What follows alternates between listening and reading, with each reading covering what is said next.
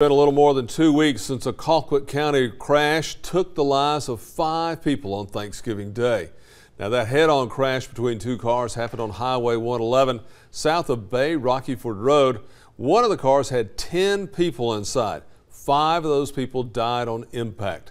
Some of the survivors of the crash are still recovering at hospitals. WALB News 10's Lena Allen spoke with a family member of those crash victims and shares how they're coping with this major loss. Why is this happening to us? Mm-hmm. Why?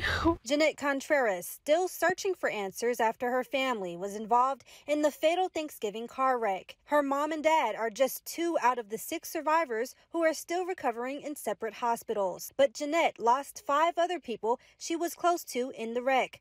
Those people include 58 year old Emiliano Ramon, 61 year old Ana Rodriguez, 73 year old Jose Marino, 25 year old Herlinda Selchak, and her son, 3 year old Anderson Sell. Jeanette tells me that day her family was driving to Pelham for a Thanksgiving dinner. The night before, I spoke to Doña Ana. I said, Madre, ves con mi mamá. Go with us to Thanksgiving dinner. I wish I would have gave her a hug. I just I didn't think it was going to be the last time I would speak to her.